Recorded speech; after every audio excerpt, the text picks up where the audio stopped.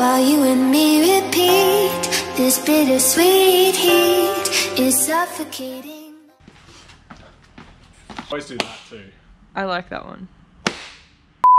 G'day guys, welcome back to another video. Today we're back in the workshop. Honestly, feels like forever since we've been in here doing DIY mods.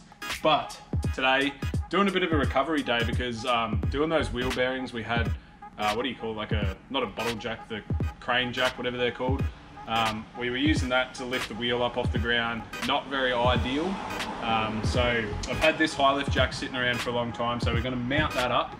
So the other things that we're gonna be doing is um, we've got a, what do you call that, like a tow bar hitch. Um, so I'm gonna put that on, I'm gonna paint that first because it's an oldie. Had that around a long time. We also have bought high lift jack mounts, I'm not gonna make them. Um, we can stuff around for ages and I can only weld steel. These are powder coated stainless steel so they won't rust. So um, that's gonna save a lot of time. And uh, the recovery points, they are from Mitch at All Terrain Industries. He was kind enough to send me a set. Um, so shout out to Mitch. If you guys need recovery points or any other gear for NP300s or pretty much, he does a whole lot of 4B stuff. So go check out All Terrain Industries. Get your shit now. So firstly, what I'm going to do is I'm going to give this old um, tow bar hitch a lick of paint. She's uh, all rusty just from sitting around. So big bit of solid steel that. So we're going to quickly paint that, sit it out in the sun. Um, and then we're actually going to move on to these hitches. Like how friggin' good do they look? They're gonna look sick on the front. So they go, uh, we take this factory point off. This is to like get it up on a tow truck and all that sort of stuff.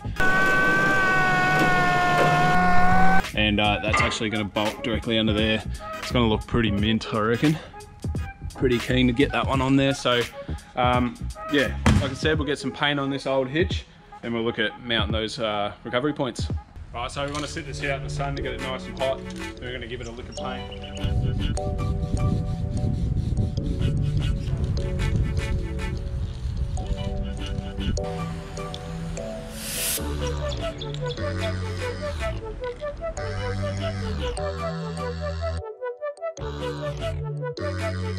So now that we uh, got them out there drying, um, what we're going to do is start mounting these up.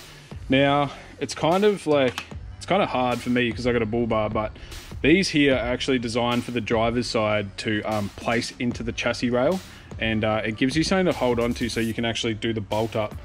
Unfortunately, because I got a bull bar on, either that means the bull bar has to come off or we work some wizardry and we uh, slide that into the chassis and uh, try and move it up. Like, it's hard to explain, I'll show you in a second, but pretty much the passenger side here, because it's already got um, it's already got this tow hook mounted there. It's actually got threaded holes up inside here. So the passenger side, very easy. All right, so we're over on the um, on the driver's side now. This is the hard section. And that's because I've got the bull bar. It actually blocks off the front of this chassis rail here. So normally there would be a big hole there that you could actually thread that rod that I just showed you up onto these two holes here. So there's one, two, and uh, that would mean that then you can hold that um, nut there while you do the mount up. What I've managed to do is I've shaven just the ever so slightly the side off one of those um, plates that are welded to the nuts and I've put it through this hole here. I've managed to slide it forward and um, as you can see we're actually locked onto it there. So I've done one, I'm going to film doing the other one. I just wanted to make sure it worked first and uh, hopefully that's going to mean that we don't have to take this off because I've taken this bull bar off literally a thousand times. I'm not about that life and I'm not about to do it again. Let's try it. Right, so this is um, what we were talking about just before. That actually slides up in that chassis rail if you didn't have a bull bar on. Um, unfortunately, the, the thickness of that plate's too thick to slide through the hole that I showed you, so we just have to nick just the side of it off, which is no big drama. Quickly give it a lick of paint, and then we um, will try and thread this one through, and hopefully we get that one, and uh, then we should be away.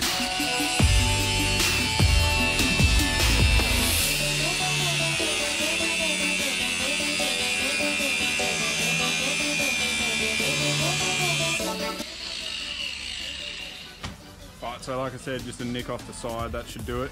Um, because that's raw steel while it's hot from grinding, I'm just gonna get a quick coat of paint on it, and then we're gonna try and slide it up. Phew. You just gotta kind of YOLO it and drop it. Like that.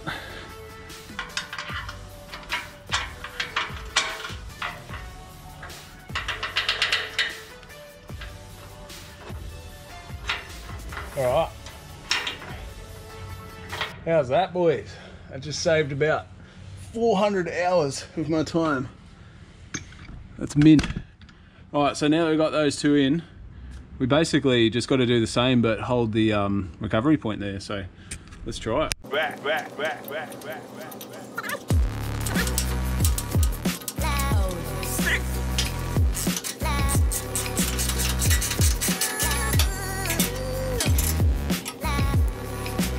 Okay, so that actually didn't take long at all. Um, taking that bull bar off and getting that plate off, probably like an hour and a half in that. That probably took me about 10, 15 minutes. So it's just that oval hole in the chassis here. Um, like I said, you do have to trim the side off like you've seen and uh, slide it in there. Just put a magnet across, center it up with the holes and then she's mint. That, that is on there. So you only use two bolts. So you only use two bolts. Like I said, um, the fold goes out this way because if you can imagine the fold going in this way would be pretty close to this bash plate here. So that's given us plenty of room to quickly chuck a snatch strap or a D-shackle on and um, we're away. So that looks sick. I'm very happy with that. I was a bit worried there that I had to take that off, but she's all good now. Look. Not going anywhere, mate. So now for this side, this is the passenger side. Looks like we've already got two bolts up there, so we'll just take those out, quickly bolt the other one in. That's like a two minute job. Mint. I have actually snatched off this before. Don't do it.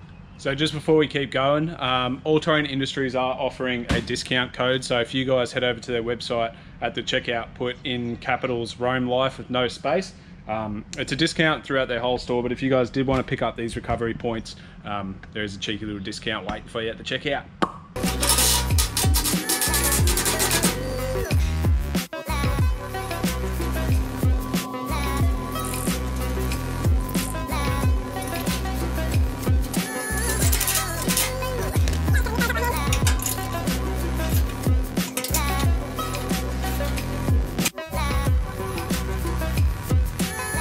Just ignore that rusty shock.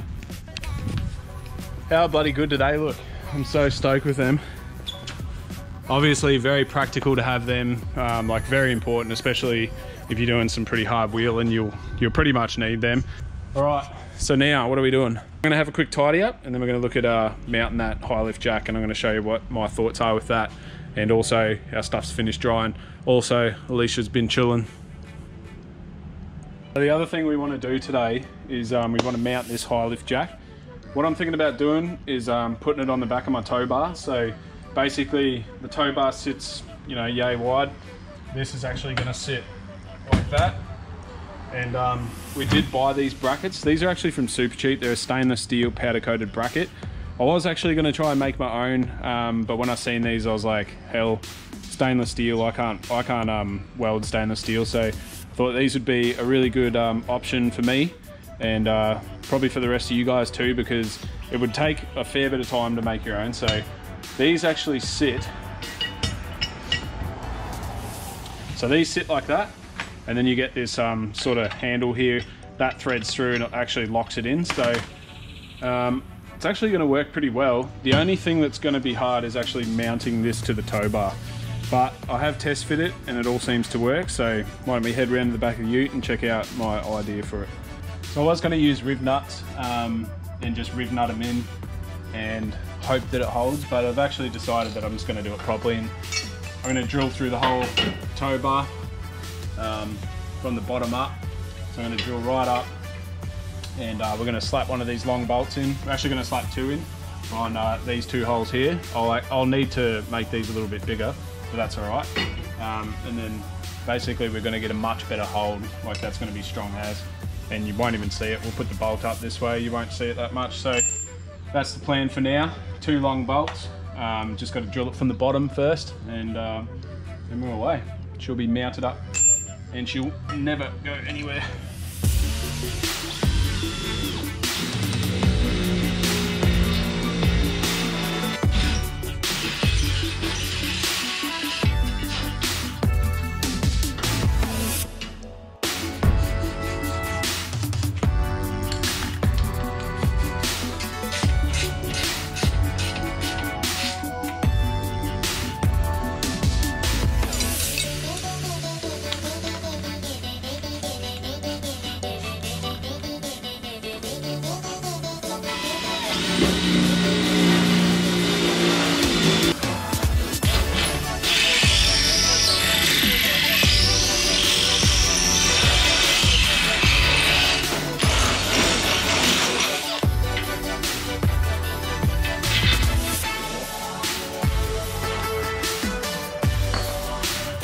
Dry for a bit.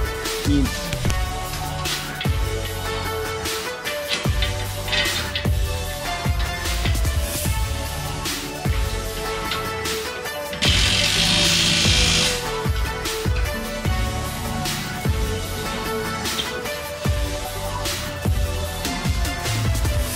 Right, so finishing touch. That's all loose. So what you do, pop a zip tie around it.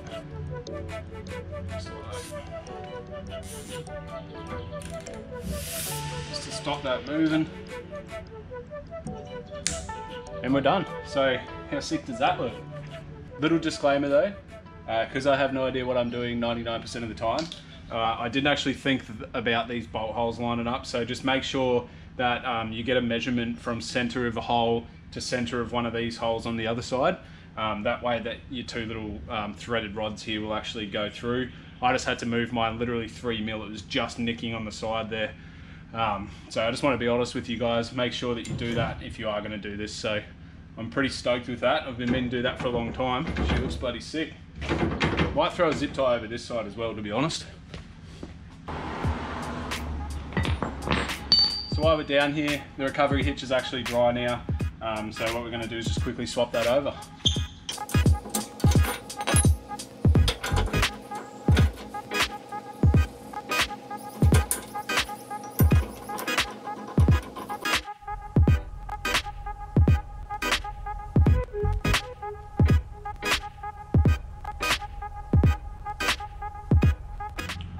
All right, so I'm pretty happy with that. Super glad I found those brackets. Um, it just literally made that a thousand times easier for me. Uh, the only thing that's left to do is uh, there's a hole back there, like I said before, that you can put a padlock through. So I will go and get probably two padlocks just to lock it up, or maybe one, maybe one will do. If somebody wants to cut a padlock, they can pretty much have this thing. Um, also, the tow hitch. So now we can pull patrols out. I mean, what? So what we're gonna do now is, because we still haven't washed it after coming back from Somerset, I'm just gonna pull it out, give it a wash. Um, pretty much just give it like a mini detail, so I'll film that as much as I can. And uh, yeah, all this jack and stuff needs a wash because last time I used it, it was quite muddy. So get this rig outside and get it washed. Creep while you and me repeat. This bittersweet heat is suffocating. I'm waiting and always hesitating. Kryptonite desires set my heart afire. Heart on fire. Set my heart afire.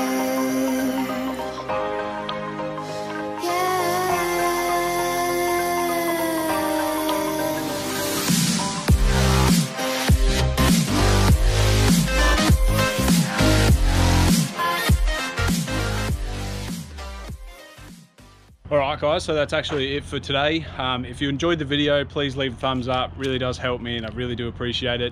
I actually I appreciate every single one of you either way. So um, once again, if you want a discount code um, for ATI, just use Roam Lyfe. Go check out the website. Um, Mitch is a nice guy, so just do us a favor, give him a follow on Instagram, and um, yeah, that's it for today, guys. We will catch you later.